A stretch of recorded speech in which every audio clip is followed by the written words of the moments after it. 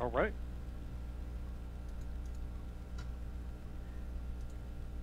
And we're live here on Facebook. I'd like to welcome those listening in podcast land and also to uh, you, Rich. Yes, thank you. Also, uh, welcome to all those uh, watching us on YouTube as well. So, Mike, we got a we got a lot to talk about. I'm not sure how much of it we're going to get to within our within our hour. We might go a little long, people. Okay. I don't know. Rich doesn't want to take the take the two hours that I think it's going to take to talk everything that's happened this week in sports. Because that's a long video, Mike. It is. YouTube. Uh, uh, if you're watching us on YouTube, that's a long video. That's We- a long video. Even if you put it, uh, even if you put us at two times the speed. Yeah. I mean, I get it. I just, man. We'll play it by ear. So, Yeah. um, so um, we're we're going to talk a little bit of March Madness. We got an update to share with you on that. We'll do a quick NASCAR corner, what we're going to call a. Uh, well, so we'll kind of do the NASCAR as a fuel-only pit stop. Yep. quick in and out. And um, what else are we going to be talking about, Mike? We got we got uh, the MLB to talk about, which that might take a long time, by the way. Um, but uh, yeah, we're gonna have that to talk about. Plus, uh, we might get into NFL, and guess what? We got a new season of Masked Singer to talk about. Exactly. A lot of things to talk about. So stay tuned. Stay with us the entire time. Hopefully, we'll get it all in. If not, we'll give you a quick preview of what we'll talk about next week if we got to have some leftovers to carry over next week now. But all that and more, Mike. But what's time to do? Roll the intro.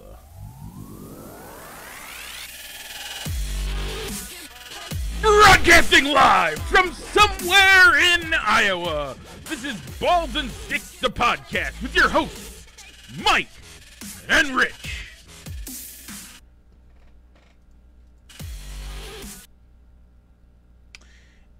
And we're back. Okay, Rich, before we start anything, the first thing we do every week, like always, our poll question.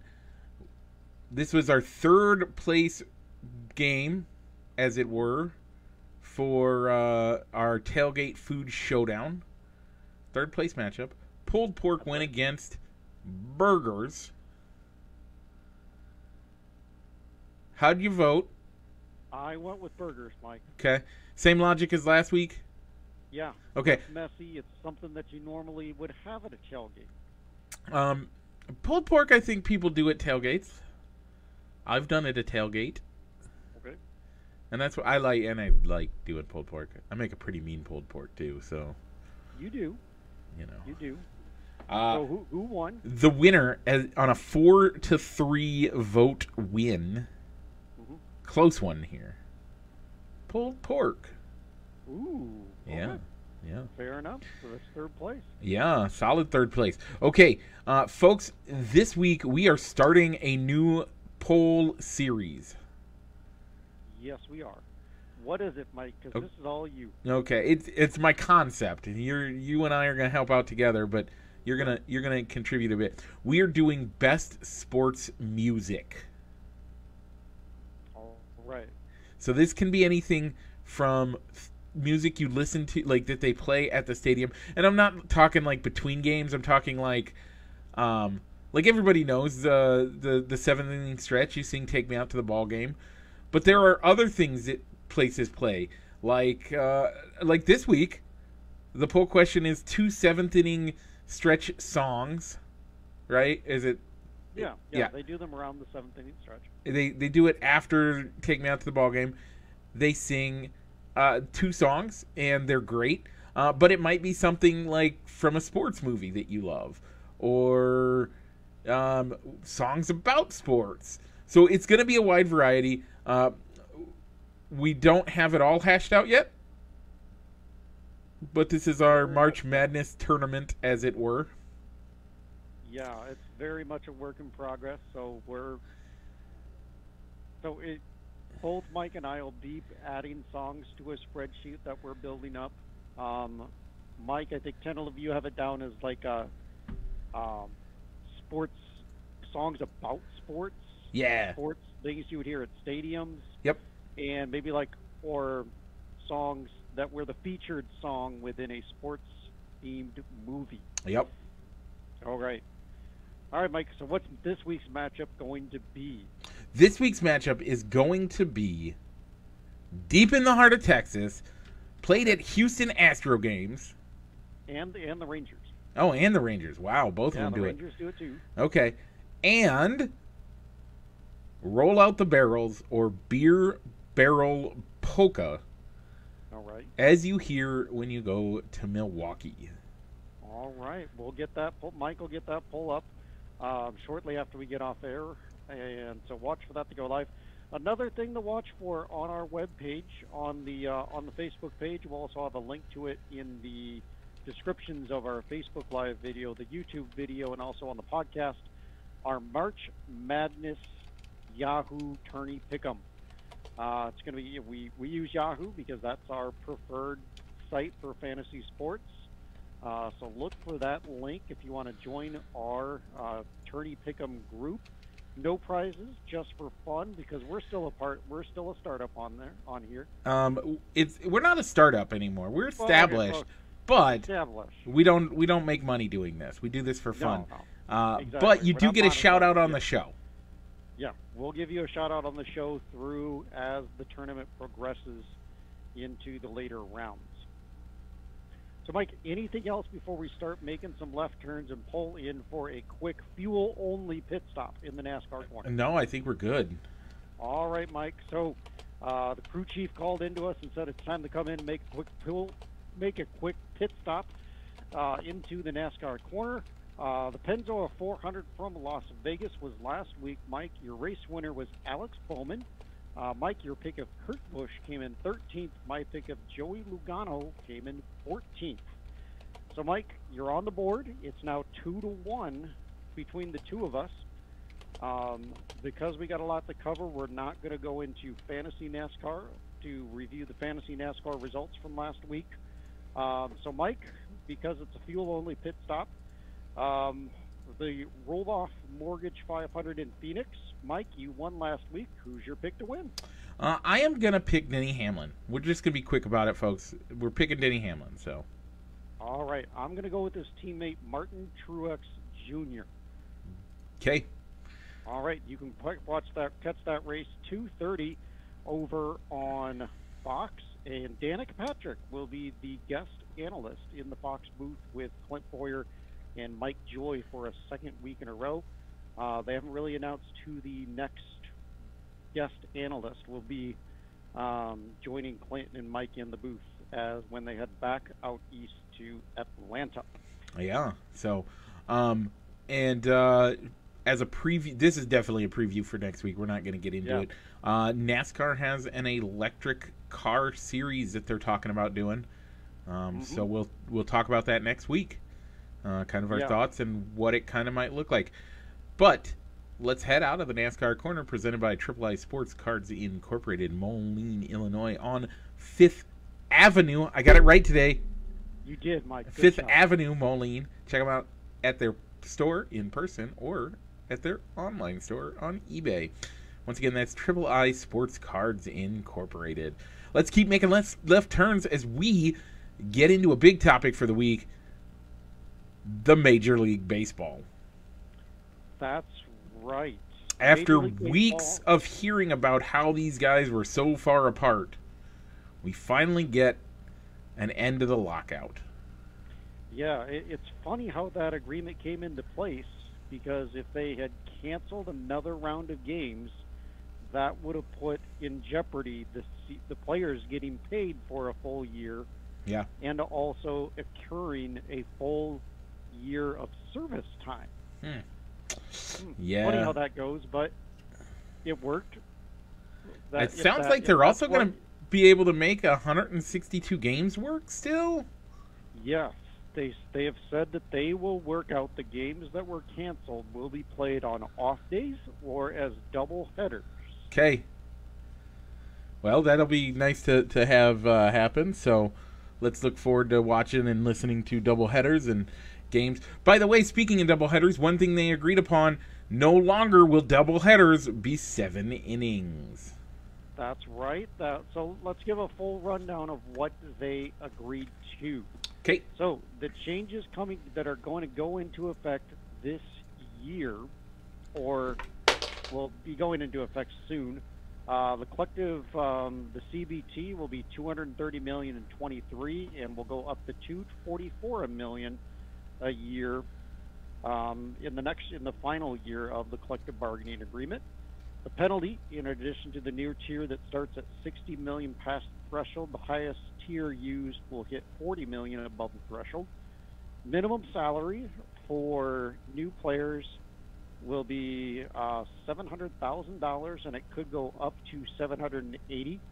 Pre-arbitration bonus pool of 50 million and the postseason will now be 12 teams. Yeah, that that's 12 teams. yeah. Um, and then possibly going into effect, um, they're going to have discussions about an international draft yeah. international free agents. Yep. That could go into effect. They're going to they tabled the discussions on that, and that could go into effect. And possible rule changes coming in next year could be larger bases, banning the infield shift, and a pitch clock. Yeah. Um, and I mean, we have the universal DH, which you know. Yep, and a universal DH. I forgot that one. That's Big happening this year, so I don't want to be So coming. what Up, do you am like? I an old what, man? What do you like coming out of that? I like that we're going to have a 162 game baseball season this year. Yep, I can agree with that one. I do like that. I appreciate the um, the the uh, the minimum salary increase for players um, as part of the new collective bargaining um, agreement. Uh, I like the concept, and we'll see how this works, of the pre-arbitration bonus pool. So, what the have you looked into that at all? I really haven't. So what it is, the concept behind it is that uh, if players, if the players um, on rookie deals think they deserve more money, there's going to be standard bonuses for those players, like that they get, and that money comes from this pool for the through the league. So younger players will be able to get more money because they don't have a say in what they make at all. It's a standard base contract. Your rookie deal is basically you don't you don't really get a say in that contract. Mhm. And so this is for guys that are making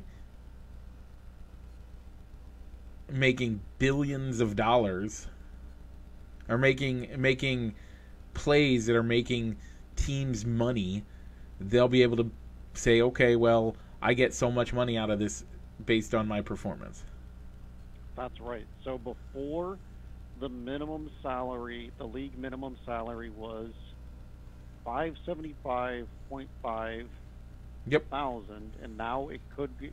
Now it's more than a hundred thousand dollars. now, now it's $700000 Yeah.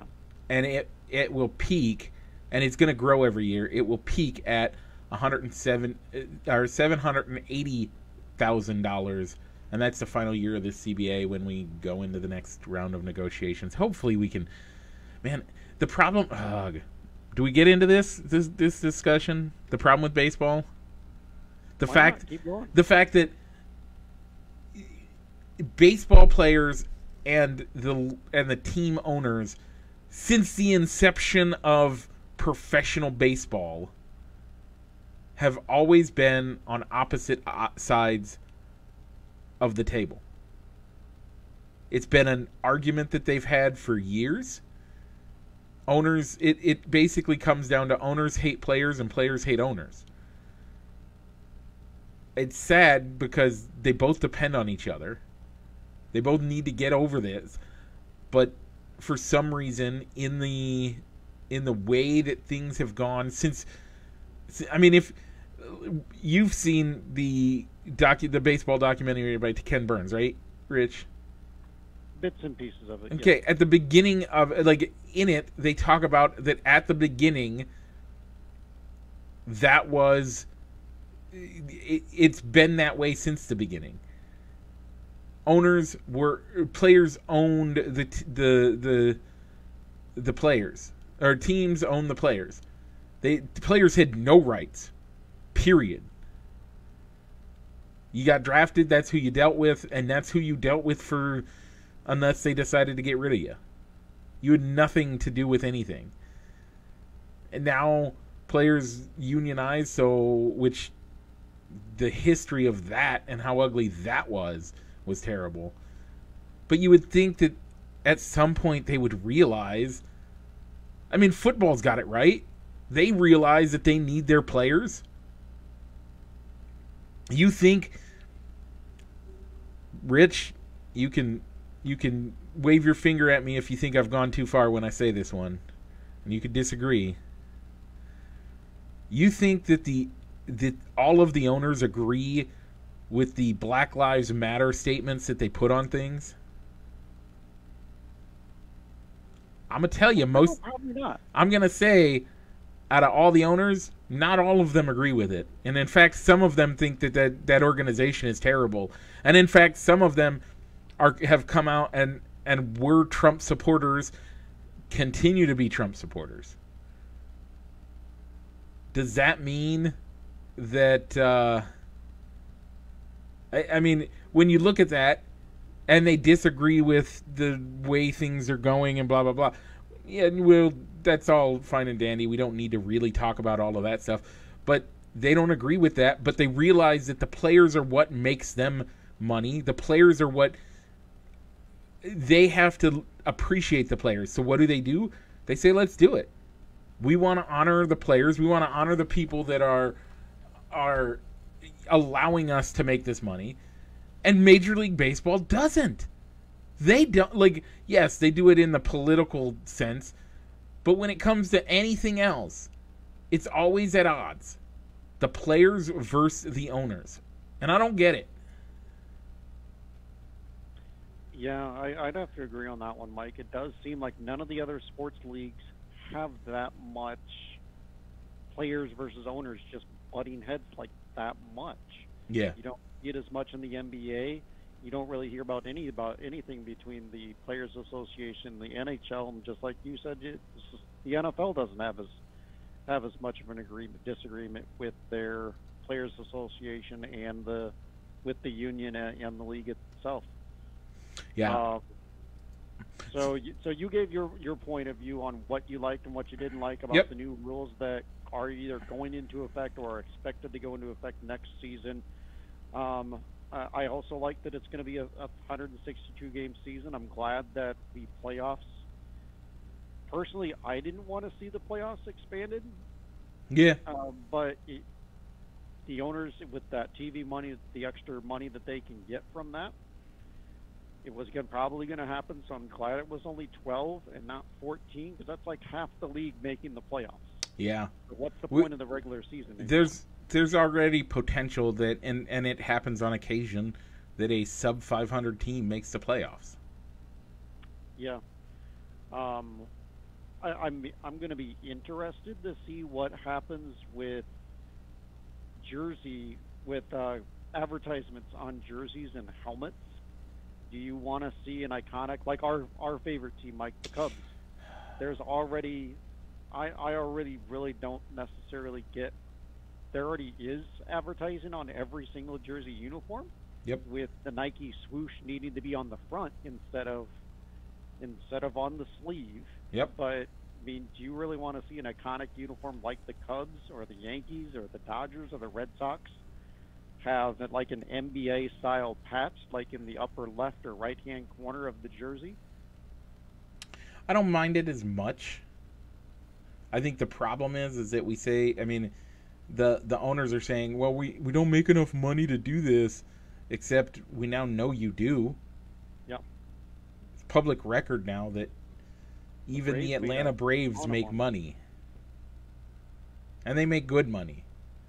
So Yeah, I think one one player one thing uh, I follow a blog called uh, UniWatch, yeah, and somebody was saying, you know what, you know what, I'd love to see, I'd love to see a DraftKings advertisement put onto make their have the Reds have an agreement with DraftKings or a betting site, oh yeah, and then have somebody put that on a Pete Rose jersey. that would be a great one. Um, so th- that's the other side. Are they gonna put them on?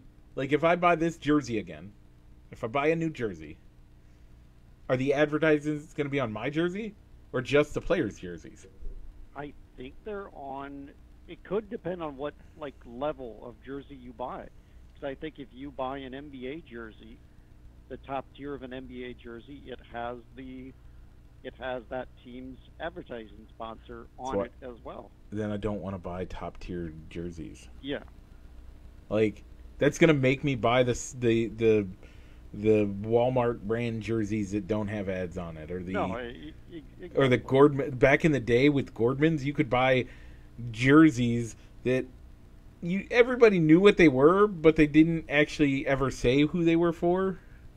But you could tell, like my that baby blue one that I have. Mhm. That we every time we would go to games, like Rich, you got to understand. Rich and I have been to dozens of games together. Um, and I would wear this jersey that I really liked, but Rich made fun of me because it wasn't an official jersey. And we would go to places, and people were like, "Where we, where'd you get that?" The color, like you, and you agreed, you liked the colors, but it wasn't an official jersey. Gordman's put them out. I don't know how, what, like they got away with it somehow, but they were never a jersey ever worn by the team. But it was the team colors, and they somehow kind had, of kind of the team colors and the the the chicago on it looked pretty close to the right lettering for the chicago cubs but it wasn't like Yeah. the, there was no like but people loved it stuff like that like it's like i'll buy i'll keep buying those type things Yeah.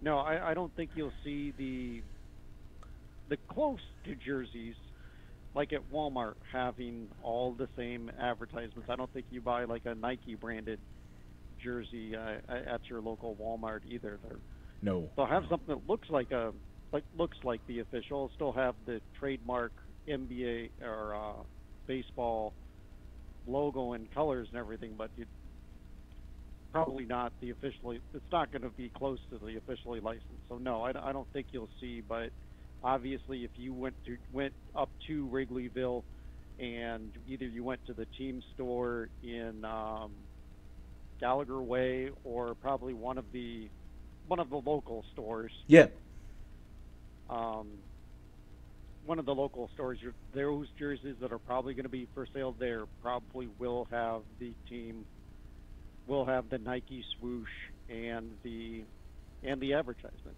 and the team patch as it were Yeah, and any team patches that are currently on that that season's uniform. Yeah, I don't like it. Where they go with those? If it'll be on the sleeves, or or if it, if they'll be able to put them anywhere on the uniform. But I don't think it's. I don't think. I think it's probably going to be along the lines of the NBA, where it's one patch in one particular spot on the uniform.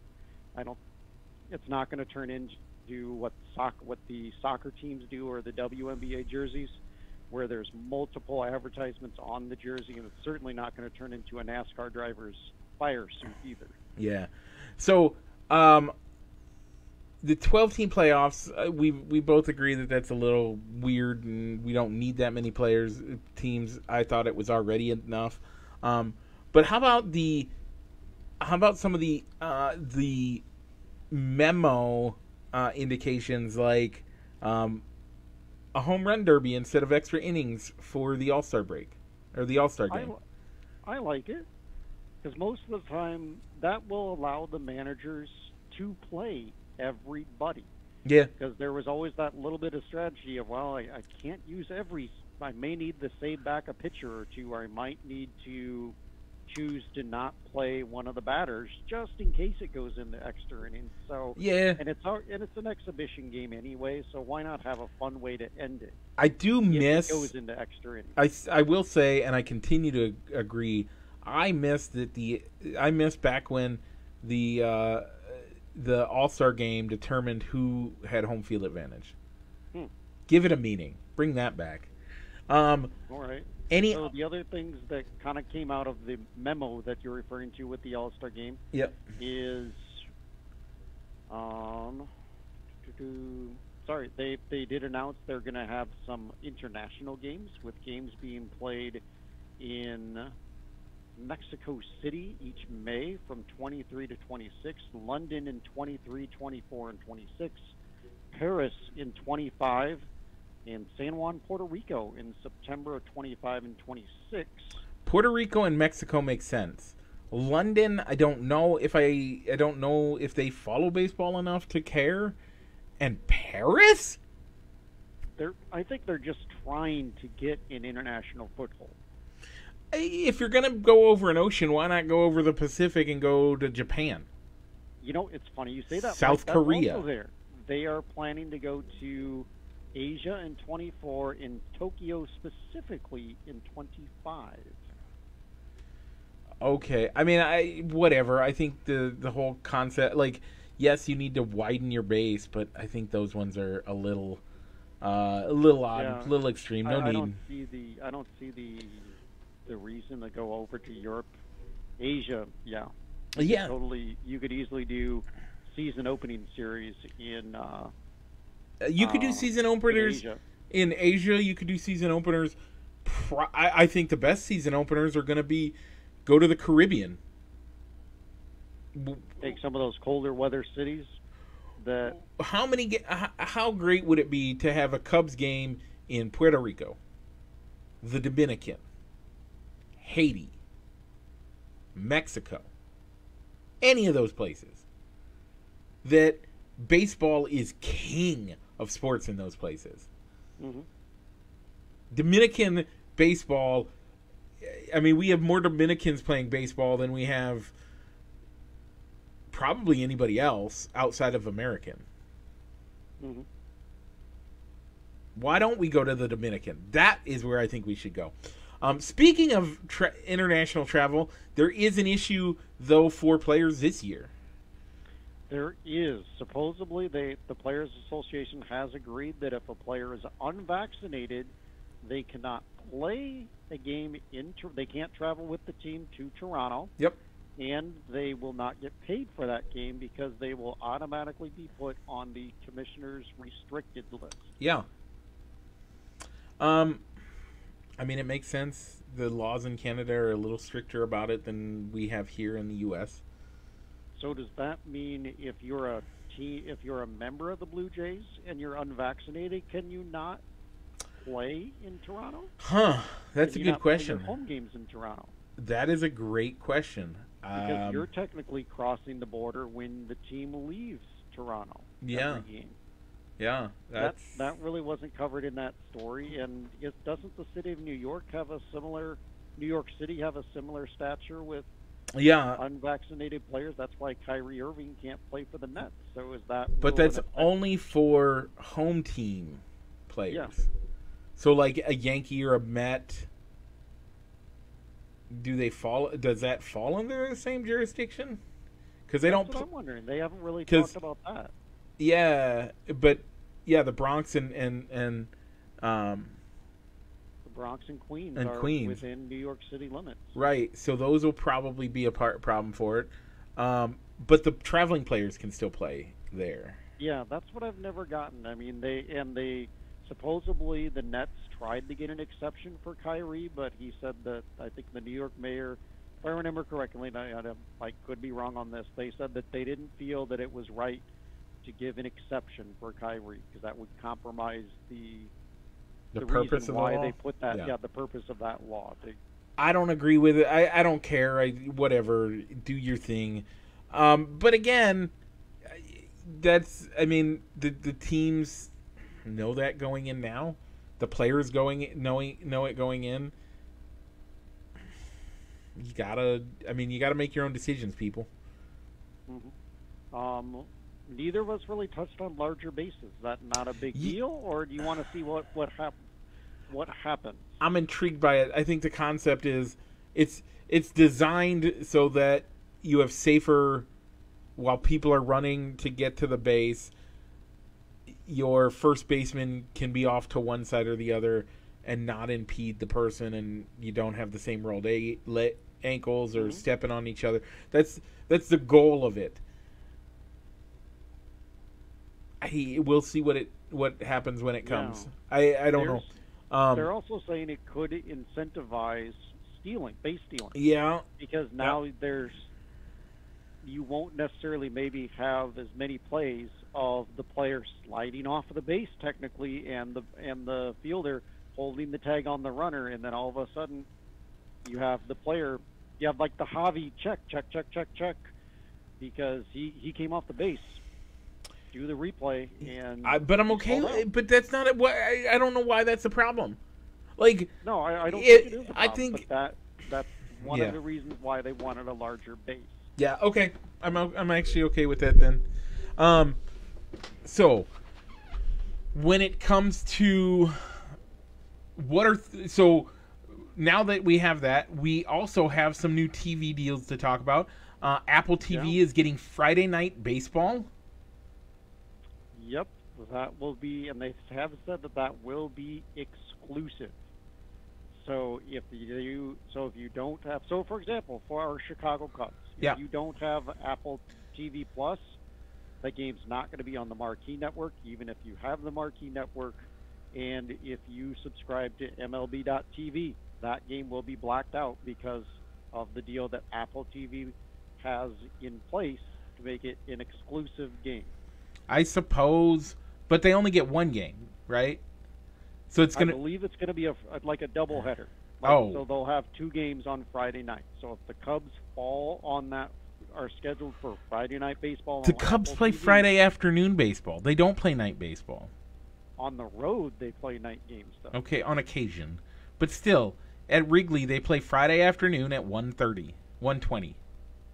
Yeah, so a home game probably isn't going to be effective. Okay, that's Still, fine. the radio broadcast has no effect on this whatsoever. Okay. Peacock TV also agreed to a deal, and they're getting a rather odd time slot, in my opinion. Okay. they're good. They're going to get a Sunday, almost late morning or early afternoon time slot. So like the 11:30 to the 1:30 time slot, right? 11:30 to noon time slot. Okay. So more than likely, you're not going to see a West Coast team get into that. That's going to be a Cubs Window. that that'll be a, a Cubs classic game. That could be for a Sunday afternoon. A Yeah. lot of and a lot of games on Sundays are, except for the one Sunday night game. Yep. Most of those games are being scheduled on sun or afternoon ball games anyway because that's getaway day for a lot of Yep. teams. Um and you know what? I mean, why not add another another you can count on it game? Used to be that Fox had the Saturday game of the week that started at at just after noon.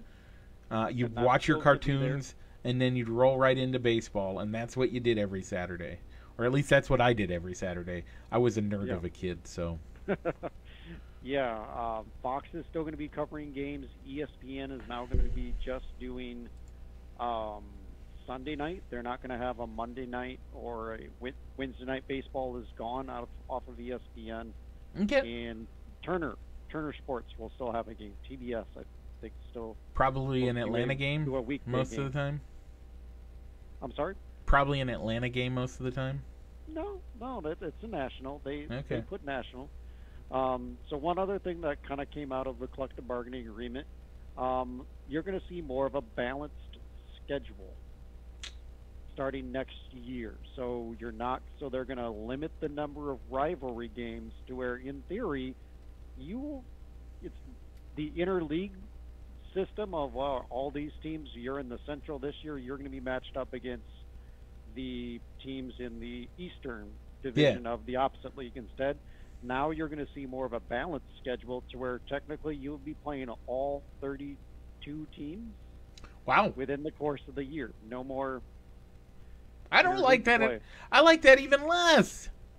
So Rich! see. So for us, you're going to see less Cubs Cardinals games, less Cubs Brewers games. How do they do? Wait, time out. Whoa, time out. Time out there. So you're cutting back the number of games you play in your division. Yeah. Um, what? So instead of those extra games that you get against the Cardinals, the Brewers, the Reds, But the whole concept of a division is that these are the guys you play all the time. yeah, It makes for gonna- less travel. It makes. Jesus help me. Help me not smack somebody. All right. So the Woo, 12 buddy. playoffs. Yeah, the 12 team playoffs, Mike. Yeah. You're going to see the, it's going to work with. You're going to see the number one overall seed, get, best overall record gets the number one seed. They get a bye. Okay. The team with the second best record in the in your league also gets a bye. Those Okay. two seed. All right, the number three seed, the third best division winner. Yep. The number three seed, four through six seeds are the three teams with the best record that did not win their division. Yep. No, no more tiebreaker games. They're going to use a system of tiebreakers that will be used in ties instead of a game 163. And in the Man. wild card, Why can't we? I like more free baseball. I know, me too. So that I guess there's going to be tiebreakers. I got to so take this stuff away. round, the, the three seed will host the six, three game series. Same with the four versus the five. The winners will advance to the divisional rounds. As we've previously known, there's no reseeding. The number one team automatically hosts the winner of four or five, while the two host the winner of three six. Okay. I it that's fine. Whatever. So one thing that kind of broke it down, this could have totally changed. I want to roll the clock back to 2018, Mike. Yeah. What happened in 2018, Mike? The Cubs and the Brewers technically had to play a game 163, Yeah. Which forced the Cubs into the wild card game that they lost to the Colorado Rockies. That Yeah. under this format, the Cubs would have had the number one overall seed that year Wow. instead Yeah. of having to play a game 163. Okay. How could that have been different for the Cubs? They would have gotten the winner of Brewers versus Rockies They would have played the Rockies, and the Rockies would have beat them anyway. In a five-game series. In a five-game series, Yeah, you're right. Maybe not. maybe not. And they would have had rest that year. Yeah. Could have been different. We could have gotten another World Series, but again, Could have. okay. That that's good. Good point. I I don't know. I, I still like. I don't. I I like game 163. I mean, that's just. But okay, that's fine. We'll uh, I'll take it. There's worse things in the world. Um, so again, we have to start because we're starting baseball in three weeks.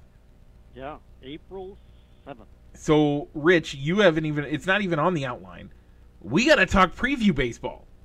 We do. We got to make that schedule. That'll probably be discussed over the next three weeks. We got to discuss our division winners. Um, Our playoff seeding, winners? apparently. Playoff seeding. Yeah, we got to put six teams into the playoffs per league now. Yeah. and a World Series matchup and Championship Series matchups. Um, We did. We got a short timetable on this. I thought we. I, I didn't. I forgot to put it in the outline, but I'm glad we'll we'll do. and there's major major free agents still on the Huge! market that need to find a, In fact- find a new home. half of the Cubs, half of the people the Cubs traded away are still free agents. You are correct. None of the only one that was traded away, Javy. Javy signed in Detroit, but Rizzo's still out there. Kyle Schwarber's out there. Nick Castellanos still out there. Bryant's still out there. Could be signed. So Would you like the Cubs to bring any of those four guys back? All the guy that I think they needed to they needed to keep is the only one that signed with a team. At this point, I don't necessarily think I want all of those guys back. I don't want all of them back, definitely. Um, no, no, you wouldn't get. I don't think the Cubs are going to sign any, all four of those guys. I could see either a Bryant or a Rizzo. Either one of those. They're they're fan favorites. They both have said I would love to come back to the Cubs. Uh, I think there is reason to believe that that might happen. But I don't know that I really care. Like I want the best guys that we can get. Now there's a lot of money out there that we can spend, but we got to do it wisely. We still got a boat anchor hanging out there in right field. Yep. He's not going to go anywhere. What's what's he got to do with anything? Other than suck money out of the team. Again, I think our I, this is going to be slightly a hot take. The infield and the outfield don't really matter. It's the guy standing on the mound most of the time that makes the big that, that should be that we should be worried about. And who do we have for pitching staff right now? You got three guys that I can think of right off the top of my head. You got Stroman, Yep. Marcus Stroman, Kyle Hendricks, Albert Adbert Alzolay. Yeah. The four and five spot. Oh, Wade Miley. We signed Wade Miley. We did sign Wade Miley. I forgot about that. Okay. So you got four. So you got four slots that are probably four guys that are penciled in, but we don't know. Who But do we have an ace? Who's our ace? Technically, it's probably Kyle Hendricks. Is that the guy you want as an ace? I think Kyle can be a grid number two guy, but I don't see him as an ace. Right. He's not the guy that's going to go out there. He- Here's the problem. Here's my look at what an ace has to be. The ace has to set the tone for the for a team. Kyle's Kyle's play is not a tone set. It is a tone setting thing, but it's not that fiery play that you necessarily want on that. You got to have a guy that's going to be big and that's going to get your team fired up. True? Right? You agree with Yeah. that? Or a guy that Kyle can is- a losing streak. Kyle is not the guy. Kyle can can stop a losing streak, but only because only if he's on that day. There are regularly enough times that he has off days that it ain't gonna work. And so Kyle's for me is not the one. So we need a, a number one. We need somebody, and there. I mean, if I remember correctly, uh, there's a few decent pit, starting pitching free agents. Yeah, I, I think there are still some good starting pitchers. So right now, so we kind of discussed the starting rotation. The only guy is for sure that we know on the back end of the bullpen we is Rowan Wick, Yeah, and a bunch of no names are filling. That's up the the, other rest of your side. bullpen. yeah. What are you Really doing in your bullpen? right now? Like, if you don't have great, like, it doesn't matter if we get a million points in a game. If the other team gets a million and one point, we lose the game. I don't care if Bryant and Rizzo can hit a thousand home runs a year. What's that gonna do if our starting pitchers can't and our closers? I mean, if our start heck, even if our starters go six innings, seven innings without giving up a run, we have a ten run lead. Doesn't matter if our bullpen can't close out the game and the other team win- gets 11 points in the last three in the last two and a half innings. Yeah, pitching I think is going to be the big thing for the Cubs. I think they could. There's a part of me that almost wants to see what the hitters can do. Just roll with the hitters that are going to be starting. to- That are going. To Isn't be, that what I was saying? Yeah. That's exactly what I'm saying. We got we have guys that have showed talent around the around the field and around the the infield, outfield and infield. We got decent talent in those spots. What do we have for pitching? Right now, I think it's probably one of the more suspect pitching staffs in the league. I would even put in the league, not just that we like in the league right now. I don't trust our pitching staff over anybody. Yeah. So, are are you thinking what I'm thinking? Which is, it's probably going to be a. It could be a long year, this year, just based on who we have in the pitching staff. Okay, we're gonna make our first prediction of the baseball year. You ready for it? Sure. What is your over under spot for wins for the Cubs? 162 games. I'm gonna give them 68. I don't know.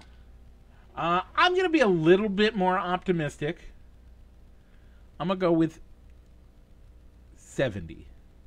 Okay. I wanted to be. I wanted to give you a nice, uh, a nice guess, but I think they're gonna be one better than sixty-nine. Nice guess. Yeah.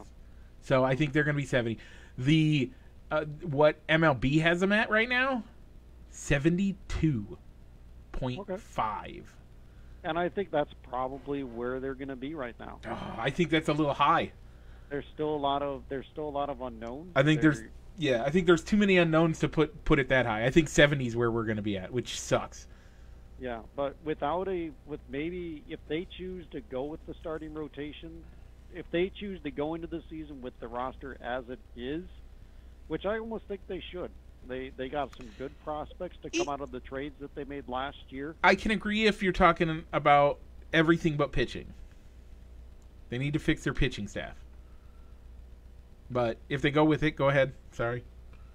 Yeah, let's go with it, and let's kind of weather the storm until those prospects start getting to the upper levels of the minors, where you can see, all right, how many years, how many years, how many more, how much more time in the minors are you going to need before you can come up? Here's this Or, or they just wait until Jason Heyward's off the payroll, and then that's when they start investing in free agents. There's some good good concept there. So Rich, Although- here's the scary thing for me. Okay. 2016 we win the World Series. Going into the 2017 season, you and I have ta- had talked about and it was known that the Cubs not only had the team that won the World Series and was looking to go back to the World Series the next year.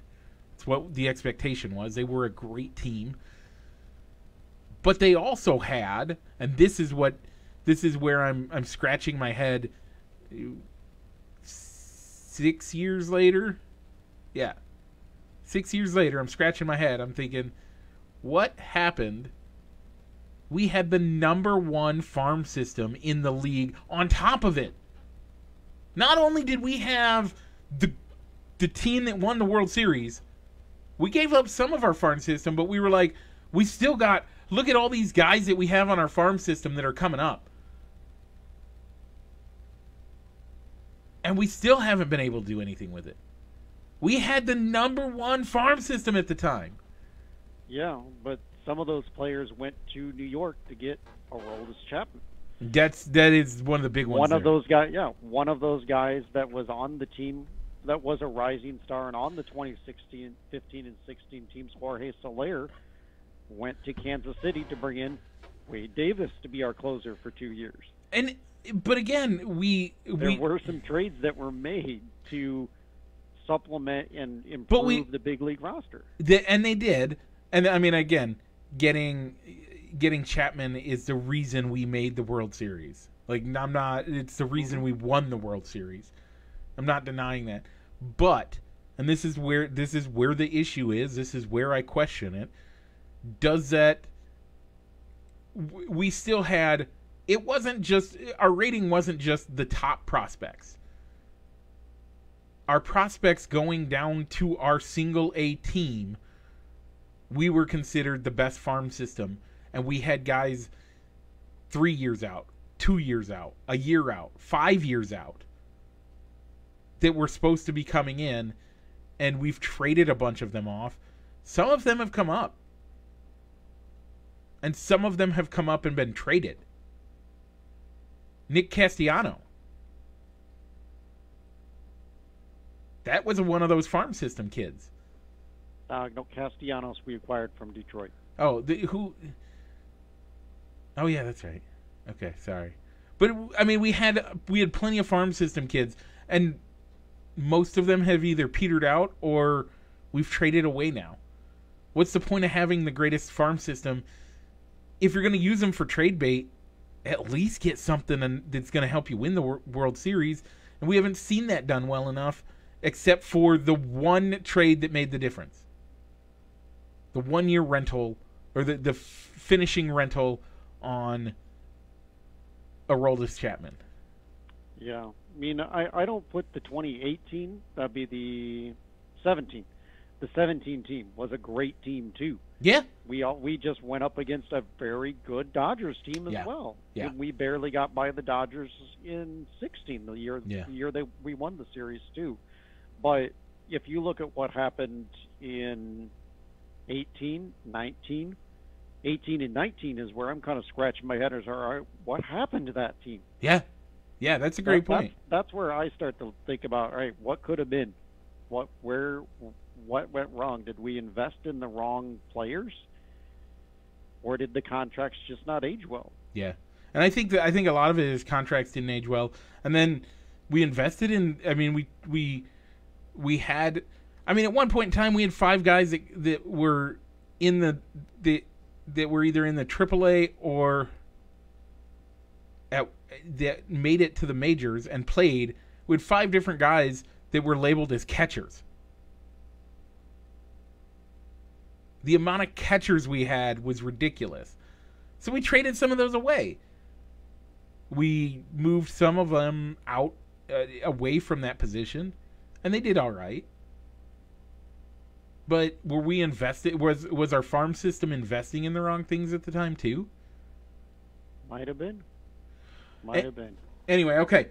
Um, so what? But we do know who's going to be guiding the Cubs at least for another two years. David Ross will be back. He has guaranteed years in 23 and 24 with an option for 2025.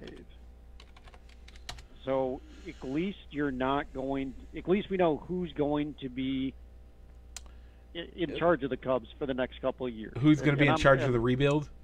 Yeah. And, and I think that's an important part. I don't think I want to go through a cycle of Oh, hiring and firing a manager every two to three years because they're not meeting expectations. we know. I mean, the expectations this year is if we if we hit 72, I'm happy. By the way, if we hit 72, I'm actually I think that's better than I I think we're we we should do this year. And, and we and we perform expect, respectable against the Cardinals and Brewers.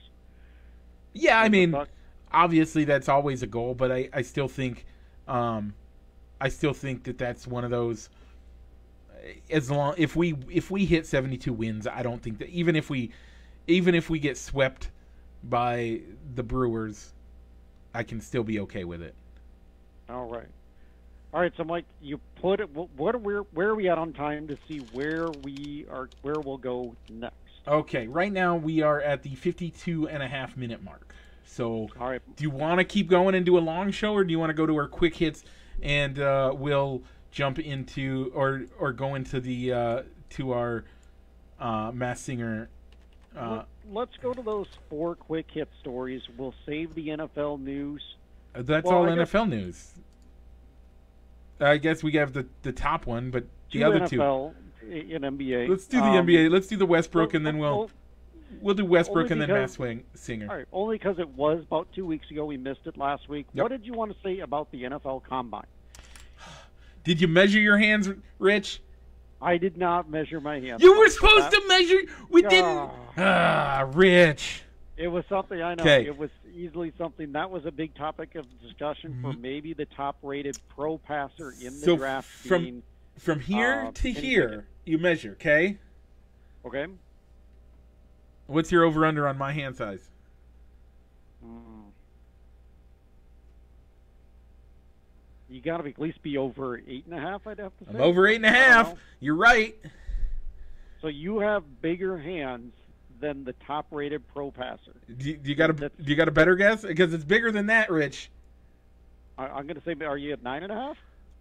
I'm at nine and se- at nine and five eighths. Hmm. Okay.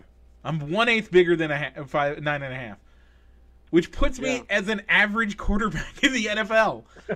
like that's the average. I didn't think that my hands were that big, but then I find out that I have nine and All right.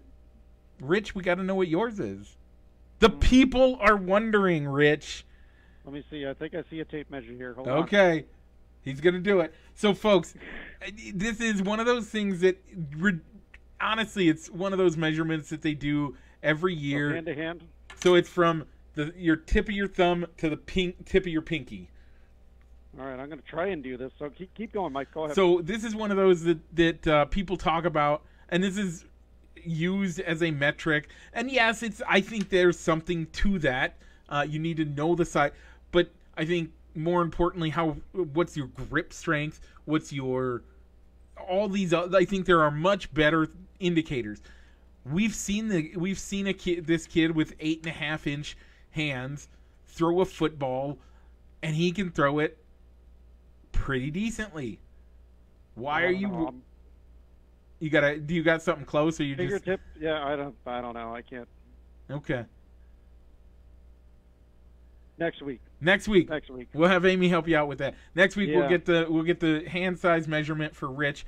So yeah, um, the combine happened this week, uh, which means you know measuring stupid things like your hand size, measuring stupid things like how fast you run a forty, because you know the forty yard dash makes a difference in the world. By the way, um, let's talk about that Cooper Kupp's 40 time was not that great, and yet everybody's saying he's the new greatest wide receiver in the league. Yeah, and you've got you've got people comparing the 40-yard dash times of like 350-pound defensive linemen, and saying, well, this guy's this guy has a faster 40-yard dash time than Patrick Mahomes. Right. Right. It doesn't make it, it it does not make sense for that to be a a metric for which your entire 50 million dollar contract is based on. 50 million a year. I think your performance on the field is a better metric than any of that, which is what we've seen. I mean, Tom Brady, his 40 time wasn't that fast. But wait, he's the greatest quarterback of all time. Wait, what? So, and, and again, hand size, there is something to be said about that. But that's like saying that because, uh, because, um, Drew Brees, or was it Drew Brees? Yeah, Drew Brees is under, is a hair under six foot tall. He's not he's not going to be a franchise quarterback. He he's not a franchise. He's too short to be a franchise quarterback. Like, come on. We're in the 21st century. Can we can we look at tape? Which isn't tape anymore, it's digital. That makes more of a difference to me. If I'm a scout, I'm looking at how you do on a field. I'm looking at how your your ability to understand to watch the video and tell me what you think's going to happen. Mhm. Watch the video and read that defense. Now I'm going to put Yeah. put you behind it and I'm going to set up this is what if if I was a scout and I wanted to do a, a combine or something of this sort, what I'm going to do, what I want to see at the combine for quarterbacks is I want to have them line up behind a center, have a defense set up. And say, tell me what what de- that defense call is and what's your play. That's what I want to know. I don't care about how well you do on the whatever the Lipnitz test that they use to how high you can jump and smack a pole or how fast you can run the 40. Look at that defense and tell me what it's going to do. What's it, what do you have to change for your protection? Because those things are things I you can get taught, but if you don't have those things, is it worth the investment to put you in and make you a quarterback in the NFL? Hmm. So, Yeah. So let's stay in the NFL. Yep. The two things came out about players. okay, Let's Deshaun Watson's not facing charges. A grand not. jury decided. By the way, folks, do criminal I charges now. yes, criminal charges. right? The grand jury decided. They heard testimony from the girls. They heard all this stuff. They said that he didn't do anything criminal. Does that mean he didn't do inappropriate things? No.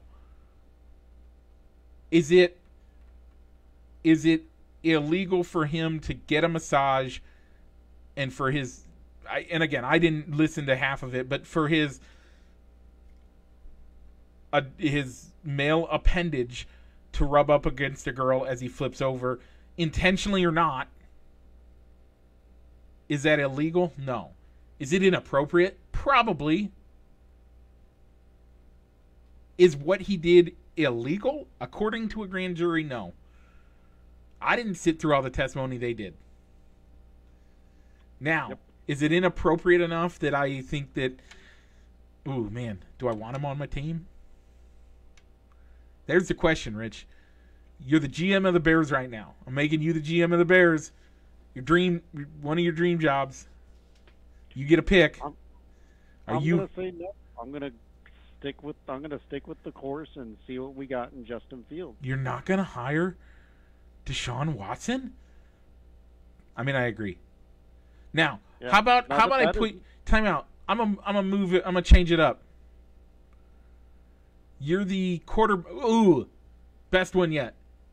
You are the GM for the Indianapolis Colts. Who do you got on your quarterback roster right now? Exactly, nobody that ma- Yeah. that matters. Nobody that you know. Deshaun, you, you, Houston calls and says, "Hey, I, I noticed you need a quarterback. Are you taking that call? I think you take the call to listen to it. to Do you make a it would take decent to- offer? Yeah, make a decent offer. I think the teams that I've that are that are supposedly connected to wanting the trade for him, Carolina, Seattle, maybe even Tampa. Yeah, and and Indy, I think would be should be interested. They should be, but I don't. If you're the Texans, are you going to trade what used to be your franchise quarterback, face of your franchise, in your within the division? Yeah, that's a great that's a great point. Now, That's why I didn't think Indy. even even bigger, he would go to Indy. even bigger. This does not mean he doesn't face charges or he doesn't face a suspension by the league. Nope. Because the the civil cases still need to be resolved and be heard by the judge Yeah. as well. They, Now- those got put up. Those got put on hold during the criminal investigation. Now I I wonder, and this is again, it's just me wondering, folks. I'm not I'm not a legal expert in any way, shape, or form. Don't take anything we say on this show as legal advice or legal understanding. Uh, this is just me as a layperson who sits here and does nothing, uh, but think about sports and watch sports and listen to sports commentators and blah blah blah. Recycles it and feeds it to you Mhm.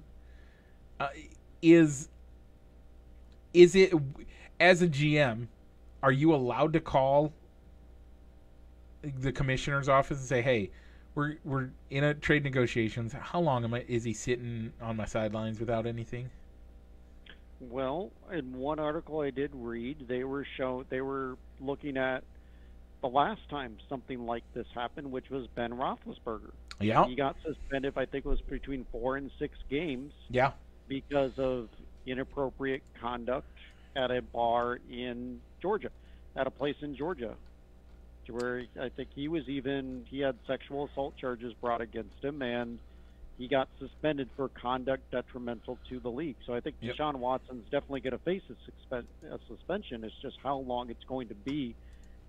Um, so yeah, I think anybody that's going to acquire him has got to have that in mind before they pull the trigger on the trade. yep So another person we're not going to see on the that we what we know for sure we're not going to see on the field this year, Calvin Ridley. yeah Calvin Ridley suspended for gambling on games while he was while he was put while he was inactive from the Falcons while he stepped away for mental health reasons. Yeah. So there was a, a meme that I shared with you, and it's not really a meme, it's just a list. So NFL major suspensions. Ray Rice beats his fiance. How many games does he get, Rich? I believe if I remember it, you you got two games. Okay. Greg Hardy beats his girlfriend, throws her on the bed with guns everywhere, and says, I'm going to use these on you if you ever leave me. In a video. How many games does he get? Was it three games, Mike? It was four. Okay. Wow. That's harsh. Okay. Adrian Peterson beats his child, has felony child abuse charges leveled against him. Six games. Yeah. Zeke Elliott, Ezekiel Elliott. go ahead. Hitting women. Yeah, hitting women. Six games. Josh Gordon, Josh Gordon. smoking, smoking weed. Six seasons between appeals and multiple Yeah. relapses in Now, Now, th- now this is just those charges. We didn't talk about Ray Rice's uh, murder. Yeah, Ray Lewis. Ray Lewis's murder. We didn't talk about. I mean, come on now. We yeah, and Calvin Ridley gets 17 games for using FanDuel, a legal site, A site that's partnered with the NFL. and he does it.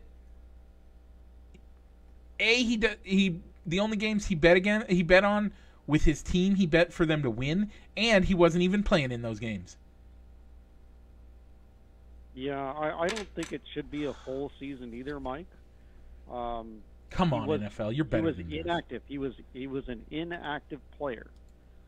If he was an active person on the roster, where I guess I mean, where they're coming from was saying that 17 games, you're you're suspended indefinitely, but at least for the year, was that he could have used insider knowledge to place those bets. By the way, that's a that's that has okay.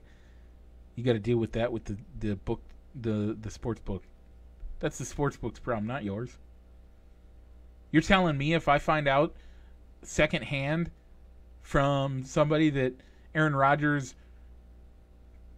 has explosive diarrhea and isn't going to be able to play the, in the game because he's so dehydrated, I'm, I shouldn't go out and make a bet on it.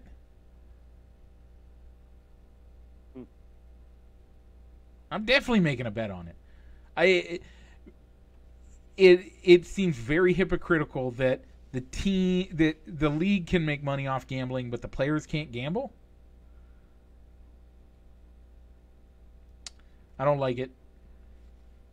Okay, folks, we are near the end. Um, we're gonna have to worry about Russell West, West Westbrook Yeah, next week. I'm fine with I'm fine saving that for next week. So, spoiler alert! Spoiler alert! Spoiler alert! If you Yeah, don't want to hear about the Masked Singer, hang up now. We'll talk to you next week. God bless you. We love you. We understand. We don't want to ruin this for you. But we talk about the Masked Singer on the show um, every week when it is in season. Um, and we're going to talk about it this week. Rich, this week we had the uh, the reveal of all of the characters it appears. Mm-hmm. All the characters. The good, the show. bad, and the ugly, the teams. So, Mike, it begs the question: Did you are you are you team good, bad, or cuddly? Um, I really liked the cuddly guy that started off the the show. Uh, so did I. He was my favorite performance as well. The Yeah. thingamabob. The thingamabob. I think he was the best of the of the show so far. I really could see him doing great things. But again, I've only seen one episode.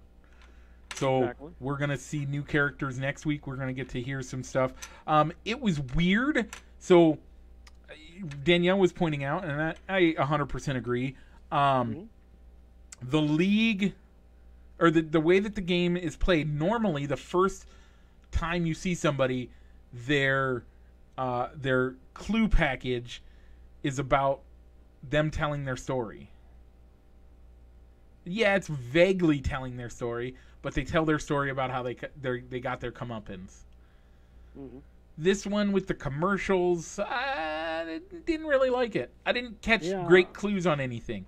Yeah, neither did I. It, by all means, when they revealed who the Scottish Terrier was, the clues made sense. That's your first. Like they always do. Yeah. Like they always do. They when do. They, when they go through. All right. Oh yeah, that makes sense. Yeah. Did So, you? um, so uh, Rich, you just made the first spoiler. Um, the Scottish Terrier went home. Um, so I Yeah. agree. I don't think he was. But I don't think he was the worst.